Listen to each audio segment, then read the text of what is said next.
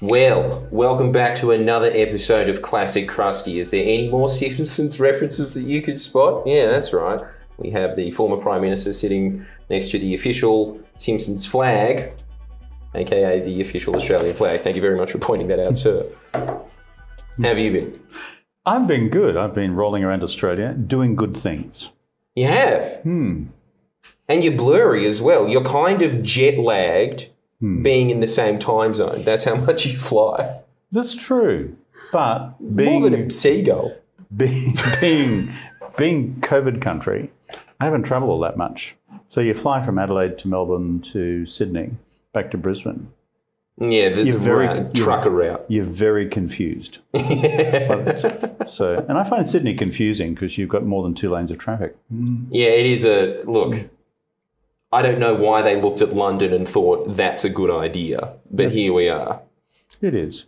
Sydney public transport, natural grid pattern for laying out the transport system of the largest city in the country. Basically, a bad idea. Yeah, yeah. Well, thank you so much for criticising your predecessors so much at the beginning it's. Very good. No, but it goes it goes back to the beginnings of the rum colony. If you look at the street the street layout in this town from 1790, it's essentially been completely screwed. It is. It totally is. Every other city makes a lot of sense. Melbourne, Having- squares like Yeah. this. Definitely. Adelaide, squares like this.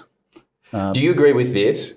Don't you reckon Adelaide is the child of Canberra and Melbourne? I could say many things about that. But it's a very tidy town, Adelaide. Yes. and it's very Yes. neatly laid out.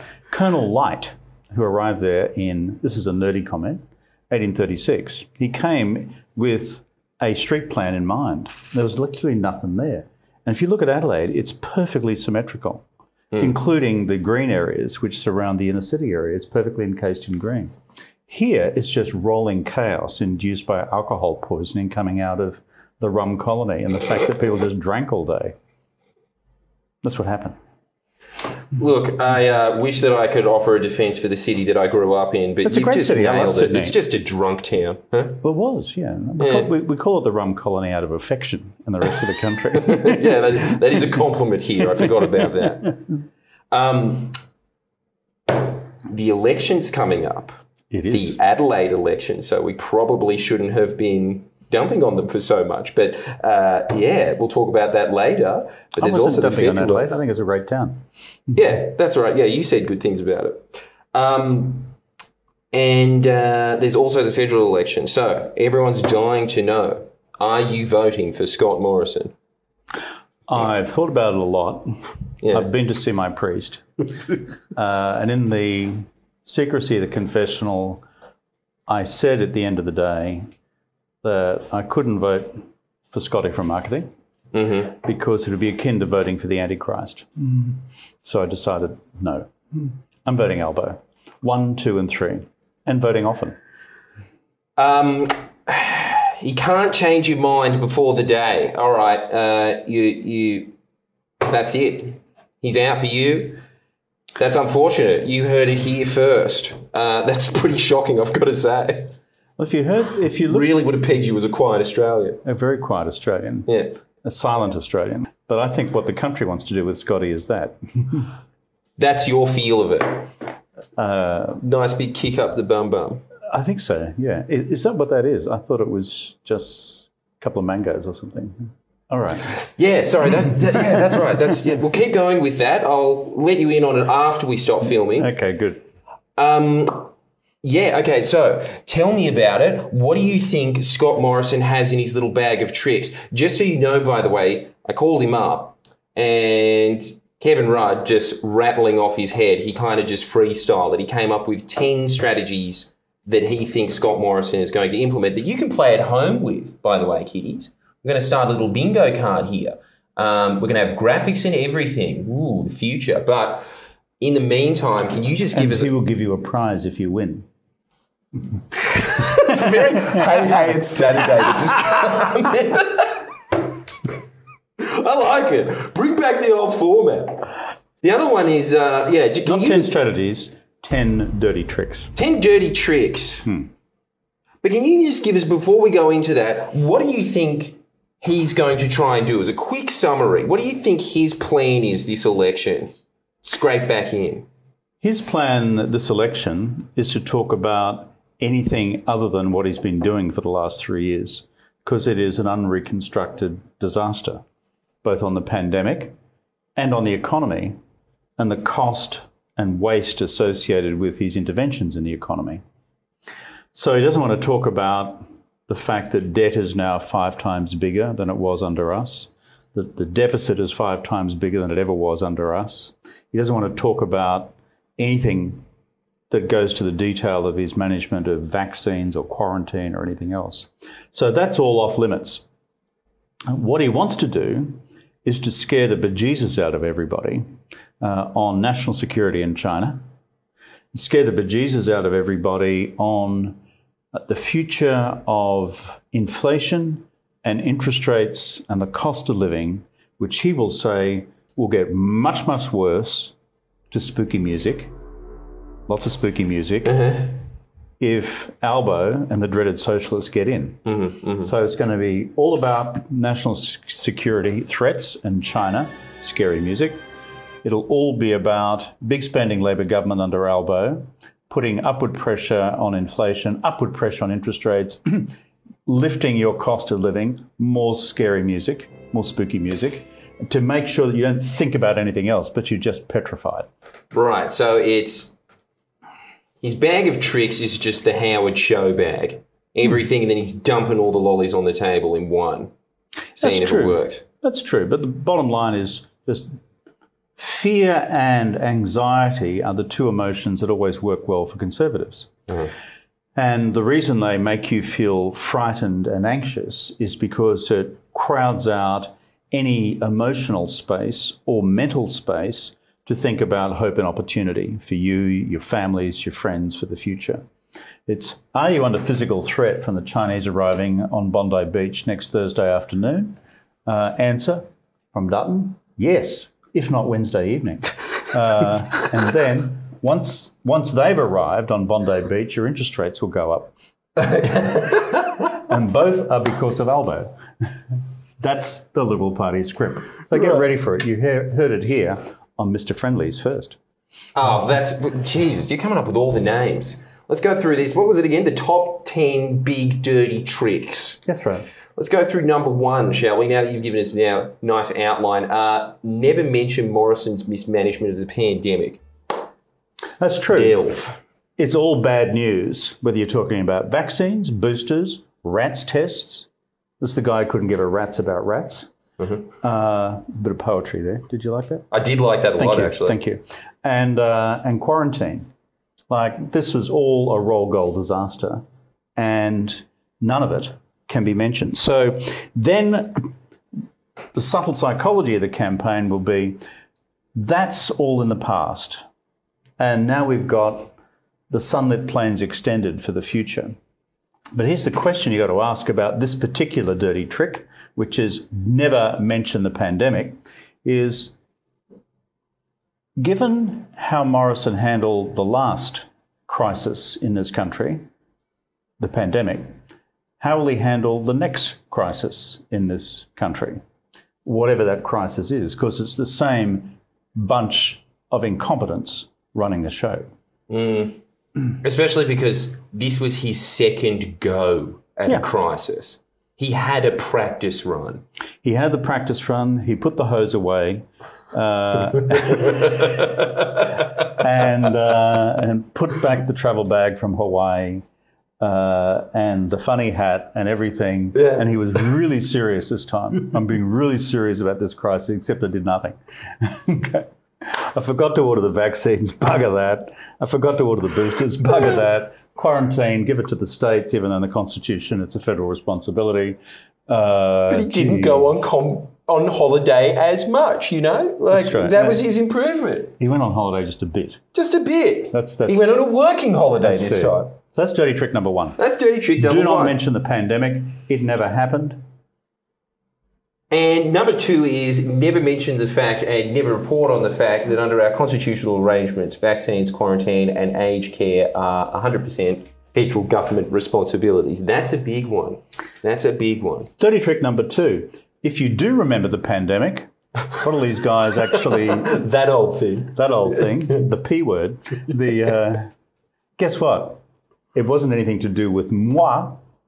It was all because of the states. Stats. So it's nothing to do with the feds. It's all to do with the states. Whereas if you actually leaf through the old constitution, that thing we put together in 1901 as the founding legal document of our country, uh, these are all federal responsibilities. So basically, what he doesn't want you to uh, hold him account for is that this was his job to get all these things right, and he got them all wrong.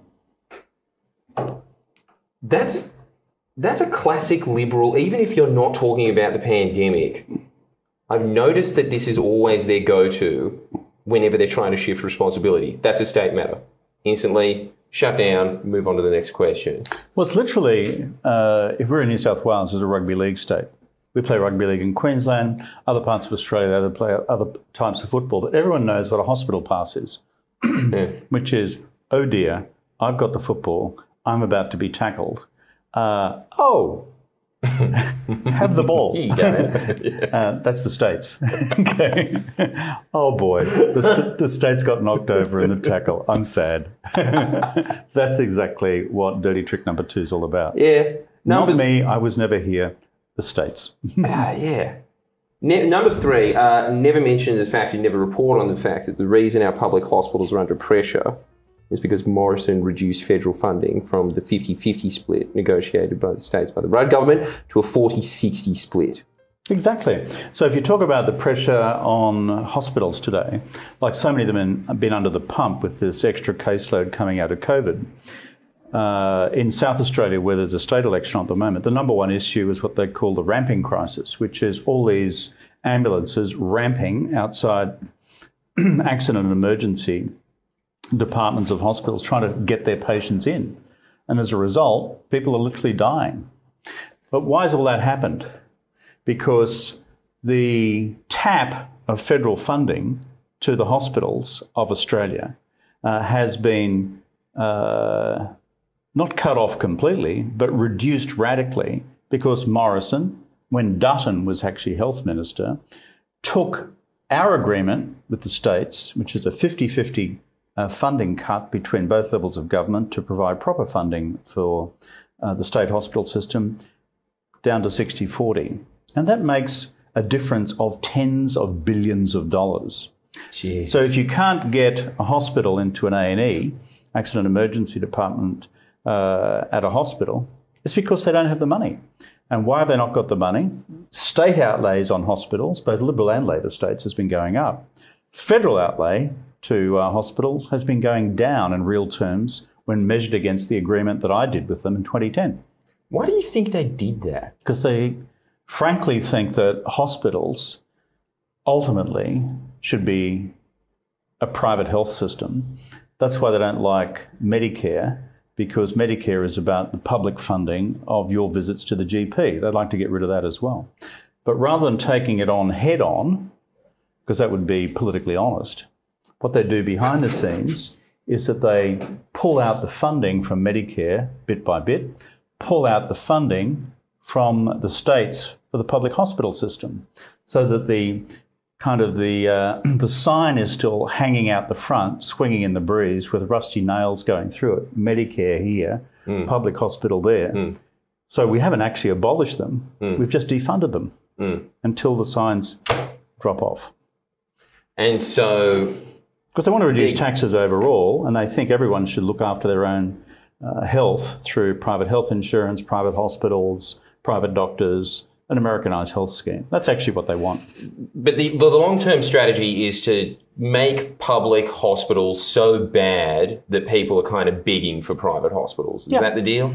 Yeah, they want to So evil. take the pressure off tax, which which means reduce company tax and tax for the wealthiest Australians. And the way you do that is to reduce the most expensive outlays uh, for the federal government, which is hospitals, in large part, together with Social Security, which reduces the tax burden on people like Murdoch, for example. So they go cheer, cheer, cheer, cheer. um, that's great. People die in the hospitals. Who cares? Yeah. Um, because not my problem. You Yeah. should be privately insured. You're poor. You're unemployed. Your That's problem, you, yeah. sucker. Yeah. Um, and then, secondly, yes, everyone gets sick, but you should be wealthy enough and successful in life enough to provide for your own private health insurance. That's actually what it's about. So, when you see hospitals, uh, ambulances ramping at hospitals, what the libs definitely don't want you to conclude is that that ultimately is a federal responsibility. Dutton, as health minister, and then ScoMo, when he was treasurer, engineered this revision of the Commonwealth State Hospitals Agreement to take down the total federal allocation to the hospitals. Where do you see all that in reality?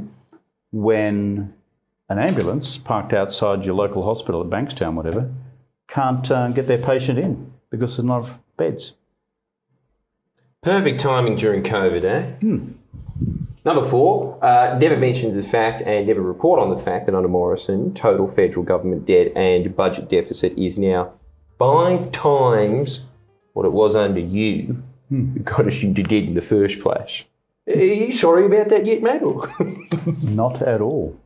because yours, and I just need to bump in and defend you for a second because I don't think I do that enough. I think I'm a, probably the toughest person in Australia on you. But um, I would have to just say the reason that you got us into debt was for long term investment things, not even just preventing us from the GFC, but also nation building projects, whether it be renewables or just, uh, you know, repairing schools, things like this. Th- These are basic infrastructural costs that most of your stuff went into, and obviously, you know, just spouting money in so the economy ticked over. But when it came to their debt, you're obviously much more qualified on this. But their debt did not go into building the country. Not at all. Their debt was signing a whole bunch of checks to people like Gerry Harvey who didn't need it. Uh, the, you've got 40 to 45 billion dollars being uh, uh, provided to private companies in Australia who never experienced a cash flow problem, uh, whose bottom line was not really hit by the COVID induced recession. But because they're all uh, friends of the Liberal Party, uh, were all given an unconditional check.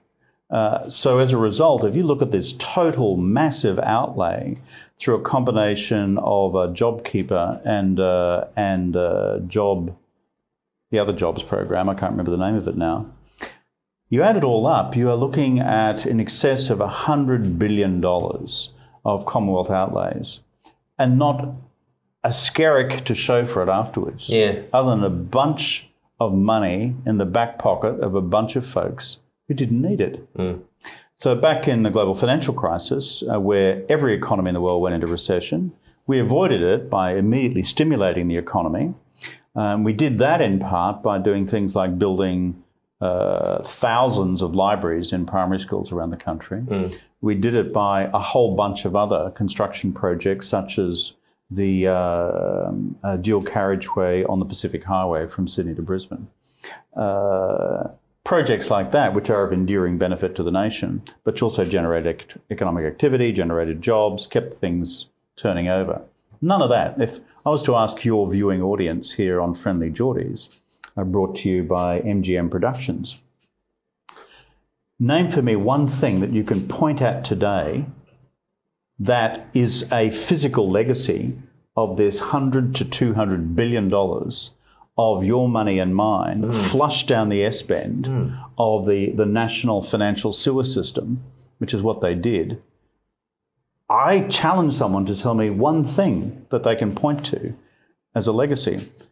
We have 3,000 libraries, 3,000 school um, uh, performing, performance centres. We have roads, rail, ports, infrastructure, NBN, right around the country. For a fifth of the price. Hmm. So, and that they have just spent like drunken sailors. So, dirty trick number four in this series is don't mention the fact that their debt is five times the size of our debt. Secondly, despite spending five times as much, they didn't keep us out of recession like we did. And thirdly, they don't have a single thing today to show for it. And- All wasted.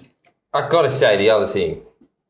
Isn't it phenomenal that the reason that you had to go, that Labor was just too rotten to stay in government, was because of a fifth of the debt that we're currently in? I don't think that I've ever seen the Murdoch press mentioned once. No, like five times the amount of debt. Uh, and if you look back to the 2013 election campaign, the one I uh, was defeated by Abbott in, the bottom line is every ad on television was debt and deficit, spooky music, black and red, debt and deficit. well, you should have was scary. five times as much red, and five times as much black, and five times as much spooky music. I don't know if they can. It's impossible. They're pretty big words. and just let it go for five and a half weeks of the campaign. Don't turn it off. That's the proportional response Yeah. in the spirit of independent journalism uh, and reporting. That should be the case today. But it won't be. That's why it's dirty trick number four. Uh, number five, having distracted the nation towards the total national security framing for the election, then divide the nation on China, challenge by pretending that an incoming Labor government would be soft on China. You've done great work on pointing out that. Lie about the previous Labor government's record on standing up to China on defence, foreign investment, and human rights. About your own record flogging off the port of Darwin to Beijing for 100 years. And that is not the only asset that they've sold to the Chinese, by the way. I've sold a few. We've got a whole video about it, but yes, you've got a video as well about it. Both of us are into videos. Yeah, yeah, you're basically a YouTuber these days. Sick. The, um, but on this one, and you're going to hear a lot about it uh, during this election campaign. Dirty trick number five, which is national security.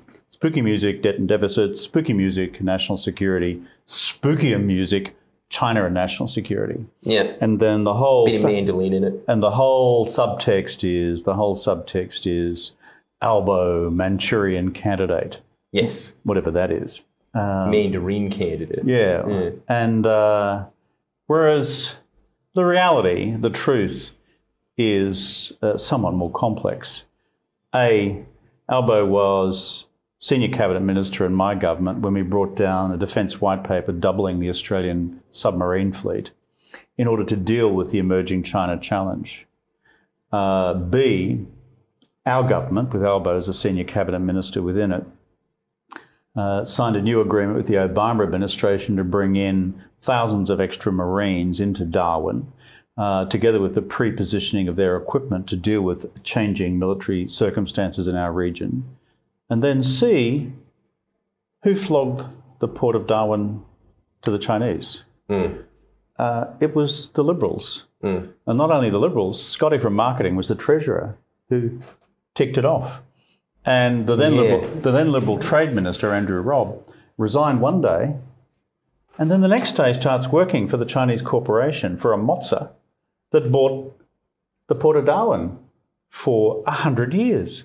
Can you imagine if a Labor government or a Labor Prime Minister sold the Port of Darwin to China for a 100, on a 100 year lease?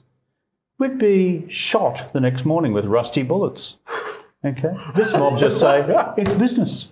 It's business. No problem. Bob's your uncle. Okay? Move on. Move on, not a Yeah, problem. So, dirty trick number five China, national security, spooky music, Labour, Albo, brrr, don't mention the Port of Darwin. That's incredible. The, un- the other thing that I will say about it is more than anything, I think this really shows that these people have no principles. They pretend to have principles when it's convenient for them, and then they change them immediately when it isn't. But you see them kind of just taking the side of China or the US, depending on whether it benefits them personally. Whereas with you guys, there was a consistent Yeah, we're always. position there all the time. It was kind of just like, no, we'll call out this behaviour, but we also understand that we need to have good relations. We need to have a balanced relationship with China, understand where the real problems, challenges, and threats lie, act on them, uh, and still ensure that um, we can do business with the People's Republic of China and not take out a megaphone every second Thursday morning and pronounce the incoming arrival of 19 platoons of Chinese commandos on Bondi Beach with Dutto down there, our very own Benito, uh, Benito Dutton, down there with his hard hat on, ready to defend us. That's kind of the script here. It's the script. and it's just so much unreconstructed bullshit. Final point on this. Do you remember the whole debate about this Chinese company called Huawei? Now, Huawei Vaguely, yeah. is a uh, Chinese telecommunications company, and uh, our government refused Huawei permission to install hardware uh, into the national broadband network because of security concerns. Um, the incoming Liberal government thought long and hard about overturning that decision. Um, but who goes on to the Huawei board to earn a mozza? Uh, Alexander Downer, the previous Liberal No. Foreign Minister of Australia. No. Yeah, a hundred big ones a year. Uh, but that's business. That's okay. Uh, you see, the whole thing just reeks of hypocrisy. Their whole attitude to the China relationship literally has been cha-ching, you know, rake in the money, okay, and then have the audacity to turn around and say that the Labor Party has somehow not been robust on the China relationship. I remember Julie Bishop, the then Liberal Foreign Minister, attacking me for raising human rights concerns with the Chinese over the Uyghurs in Xinjiang and for giving a visa to a visiting uh, Uyghur dissident who'd come to Australia to give a speech. She said I shouldn't offend the Chinese.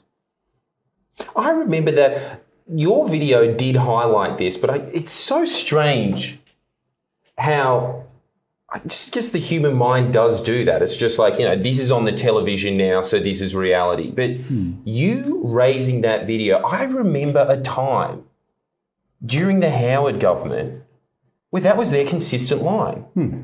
Just shut up about it. Don't say anything. That was, was No, very much so. And I, I got a, attitude of fear and just change. I got attacked from one end of the country to the other, led by the Murdoch media, led by the Liberal Party, saying I should not upset the Chinese by raising human rights concerns. yeah.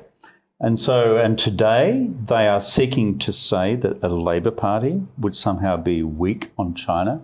Pig's ass. Hmm. Hmm. Hmm. Because the difference is the Labor Party governs in the national interest, while they govern in self-interest. Well, we Put try to on a get shirt, it. kids. We, we, we try to get it right. Yes. Dirty, Yes, dirty trick do. number six. Dirty trick number six. Uh, having distracted the voting public away from the mismanagement of the pandemic, hospitals, aged care, debt and deficit, into a fabricated national security divide and depicting the Labor Party as weak, they launch an ugly personalised attack on Albo to try and delegitimise him as the alternative Prime Minister. That's very naughty. That's, that's what they do. Murdoch's single interest, like the Liberal Party, is to delegit- delegitimise any leader of the Labor Party. Look at, if you're in Victoria, look at what they do to dictator Dan, okay? Uh, uh, if you look at Queensland, every day in the Murdoch Monopoly newspapers, it's Annastacia's most recent crime against humanity. Um, uh, look at their treatment of uh, the West Australian Labor Premier. It's as if he's um, somehow, you know, strangled his state completely. Um, Perrottet, a hero of the people, um, and whoever the guy is who's Premier of South Australia, I can never remember his name. Nice, Yeah, nice can. man. Yeah, Mr. And it's such a forgettable name as well. Steven Marshall. it's Mr. Met. Yeah, that's Stephen. short. Short for Marshall. Yeah. Stephen Met. Anyway, sure he's a nice fellow. I don't know. I've got no idea. But these guys can do no wrong.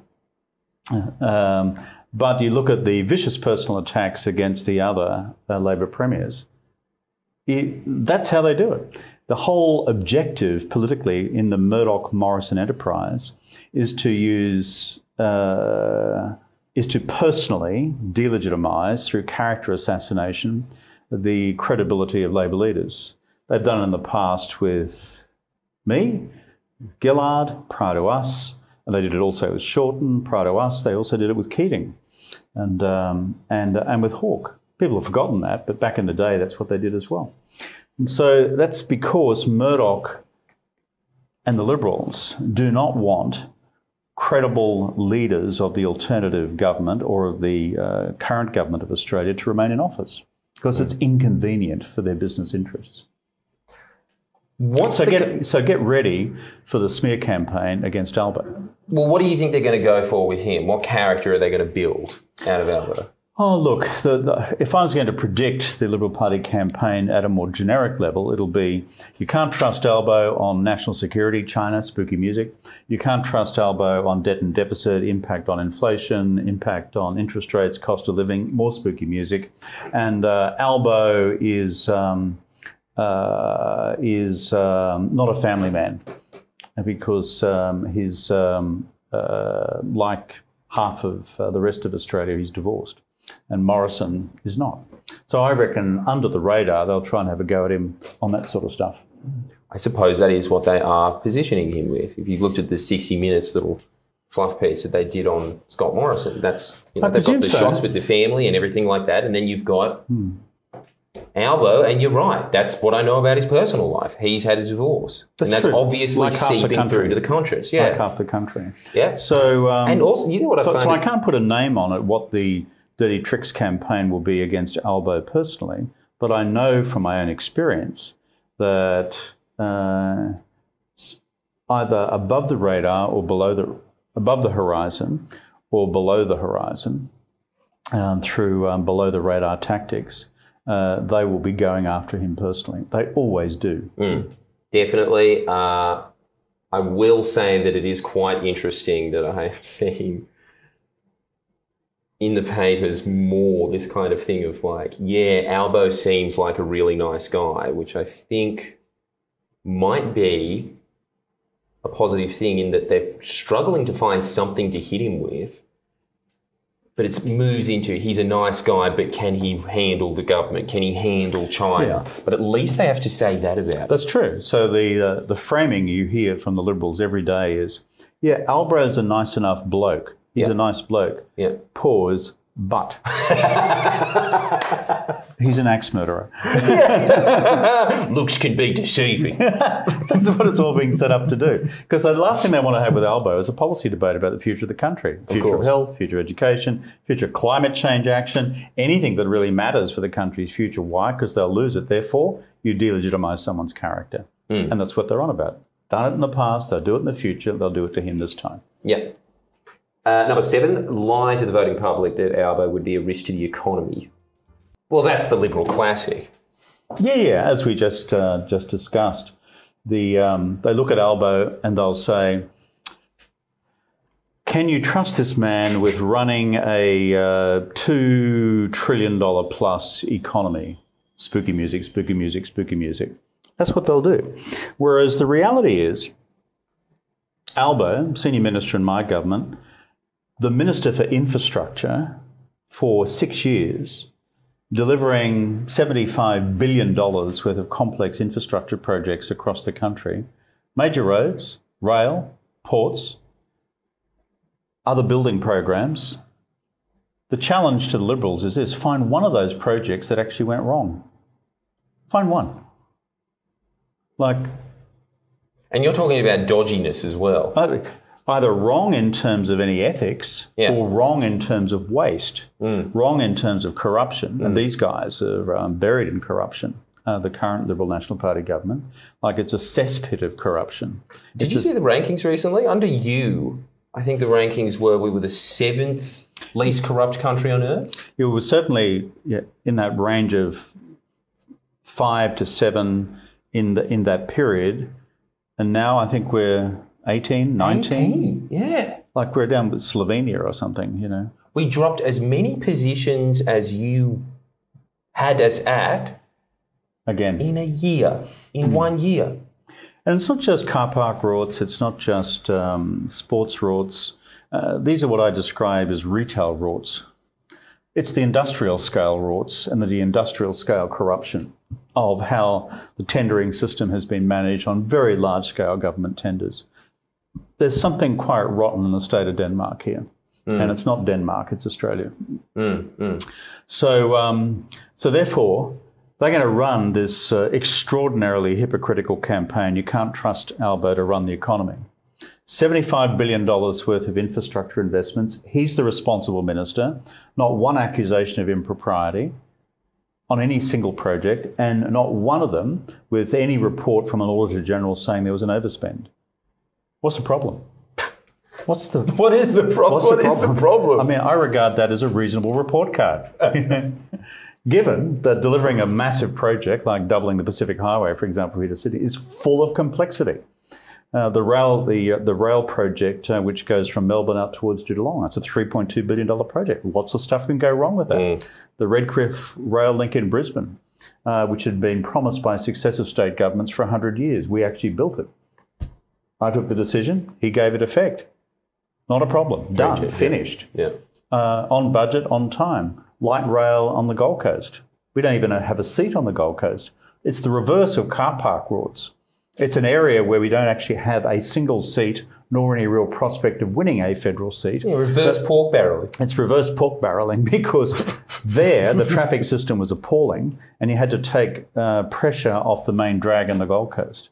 And That was something like a $650 million project, hmm. delivered on time and on budget. So two ways. First of all, it shows how ethical you guys are, but it also shows that the Liberal Party can't even pork barrel right. No, They're just building a bunch of like women's bathrooms or something for the ovals instead of building something like the light rail.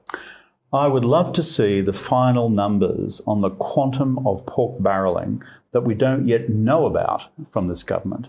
Remember, they are constantly under resourcing the uh, Auditor General's Department. Yes. Um, and the reason they're doing that is it's the only scrutiny agency left given their uh, politicisation and undermining of the independence of the public service. Well, this actually, just as a quick side note, if I may, I don't know your opinion on this. Do you think that the public service is a good thing? I do think the public service is a good thing. Well, that's shocking. There's two bombshells in this already. Um, but So I used, to, I used to be a public servant. I was, a, I was in the Department of Foreign Affairs. I was a professional diplomat. And then uh, where we had it drummed into us, this is in the days of the bloody Fraser government back in the Mesolithic period, okay, Uh, when you weren't even thought of. Um, when uh, we were told public servants advise, ministers decide, and if you have a problem with the ethics of a ministerial decision, you resign. Hmm. That's the ethos that we were brought up in. Hmm. And so our job was to serve honestly and effectively the democratically elected government of the day, and for there to be a professional, independent public service who could serve any incoming government to implement its democratically endorsed program in an election. Hmm. That's gone out the door. This mob Yeah. have just taken the Australian public service and, like integrity in general, flushed it down the S bend with five times the deficit as well. five times the deficit. But that's what I'm scared about. It's I from what I've been talk I've been talking to a few people in the public service, and they're kind of just saying the damage that they've done in the last ten years is sort of irreversible at this point. A lot of the public service has been privatized. A lot of the public service, like you just have all of this institutional memory that's just been completely wiped that you're never going to get back.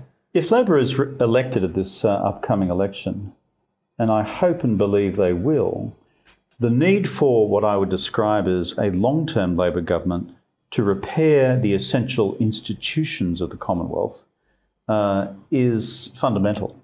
Rebuilding the public service, entrenching its independence in legislation, restaffing it with people who are professionals, preventing the future politicisation of it. It's a long term task. It's doable. But if we don't, we're not going to be just number 19 on the International Transparency Index uh, in terms of our level of corruption. But we'll be out there with the, with the Russian oligarchs. I mean, it's that Yeah, bad. I think so. It's that bad over time. Because you have experience from this back in the Bjelke-Petersen days, right? Like, you can't expect miracles and you can't expect that level of damage to be repaired overnight. It's going to take terms, terms just to get back to baseline. Yeah, so term. really, that's what's going to happen with the incoming Labor government. They're, as the Liberals are always say, they're going to have to clean up Liberals' mess. Exactly. That's The, the uh, whole point. You see, politics matters because it's the way you bring about sustainable change. And you've got to clean up the institutions of government and the integrity of the public service, which is critical, the integrity of our public tendering process, which is doubly critical because it's tens of billions of dollars. Uh, then you need time to do it. But unless we get the politics of this right by changing the government, then the rot starts to become a cancer. And the cancer ultimately kills you.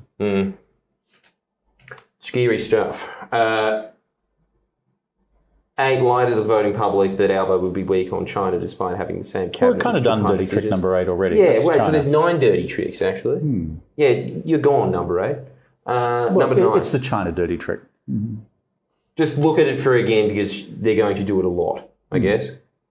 Uh, nine, run a below the radar spear campaign to delegitimize Albo personally because 50% of the country. Oh, then there's divorce. Okay, well, just We've done, we've done dirty tricks. trick number nine. Dirty Eight. Isn't there a Quentin Tarantino film sort? Anyway, that's the one. Um, number 10, The Great Giant Sleeper, Murdoch, ranks in the money for months of Clive's front page ads. And I will say that this is really interesting that in the last election, they did treat Clive Palmer as an enemy, if I remember correctly. And now they've realised no, he's a really useful asset because it seems like Clive Palmer has just honed in on that. And I really do think that this is a cultural vote. There's no way that you can convince these people because a big part of my channel constantly is just pointing out your record and then pointing out the liberals ever since. You know, hmm. best managed economy on earth, worst in the developed world. This is just we have the figures down the line stuff, but you will always get the response. They're the same. They're both scum. And I think that what Clive Palmer has done ingeniously is just keep pushing that narrative and then move those votes into the Liberal Party with preferences. That's exactly the case. Dirty trick number 10 is the Clive Palmer dirty trick. Yes. in cahoots with Murdoch and in cahoots with Morrison.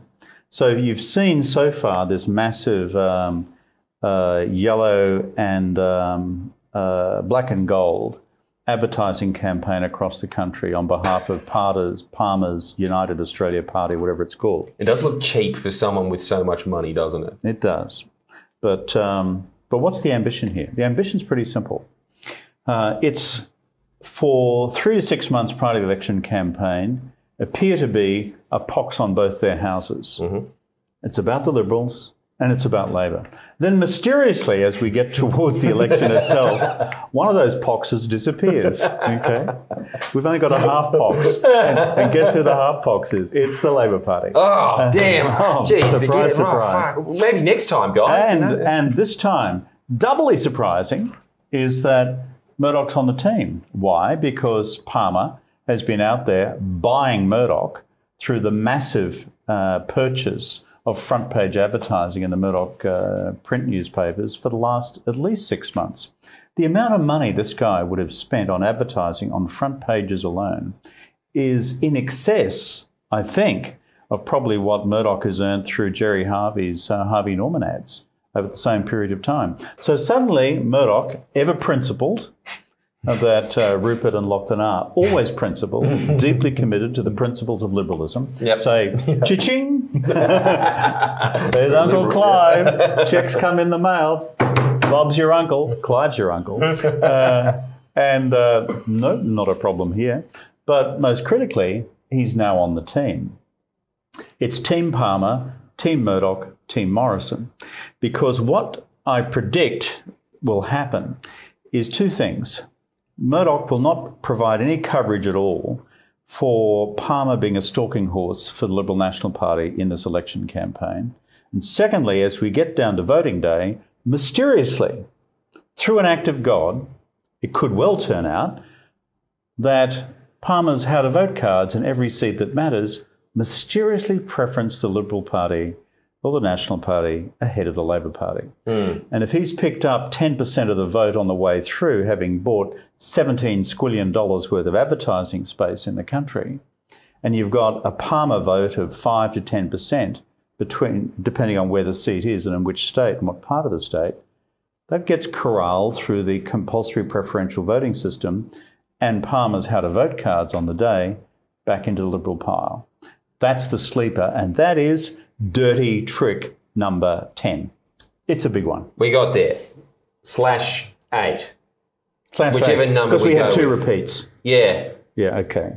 No, Fine. whatever. Ten's a better number. Look, there was ten there. You got it. You got a long video today. Stop your whining. Uh, thank you so much for joining us, Mr. Rudd, on your uh, truck driver route from Brisbane to Adelaide to Melbourne to Sydney over and over again ad infinitum.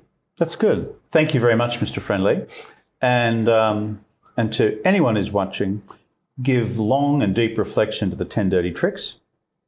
Friendly has already indicated that he'll give out a prize each day of the campaign for those of you who come up with the best example of dirty trick 1 through dirty trick 10. And finally, was under the impression that you were going to do that, but uh, okay, yep, I'll, I'll, I'll bear that cost. Yep, I'll give you the prize. the multimedia magnate will look after that. Thanks, thanks, thanks, Casey. But yeah, But the most it's important just thing, what I need. More expenses. more Yep. important thing for each and every one of you to do is to give Scotty from marketing the ass.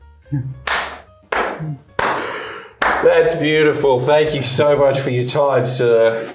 Uh, bonus footage as well, and this is great because it is in exact proportion to how important state elections are to the federal elections by coverage. Because we've got like a couple of minutes here to just chuck it at the end.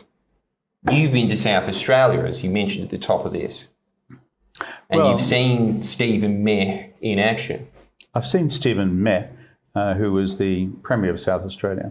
Trace and I went down there, and um, she's a South Australian, my wife. So we had a few days off, but we we're also doing some campaigning. State election coming up, less than two weeks. You've got Stephen Meh, the Liberal Premier, and you've got the Labor guy, Peter Malinauskas, Captain Six Pack. And uh, seriously, you should, you should you should you should see this guy's stuff. Like I said to Albo, I gotta see it. Does anyone have him? I got, yeah, show us, show us. Is it that impressive? Does he look like one of those men's health guys? uh, on top of that, yeah, a cubed. Yeah. So I said to Albo the other day, he's obviously modelled his campaign on you and me, mate. Yeah, Uh, yeah, clearly. and because I've been working on my six pack for the last twenty years, and it's kind of not gone anywhere. Jesus Christ. No, that's Peter Malinauskas, not Jesus.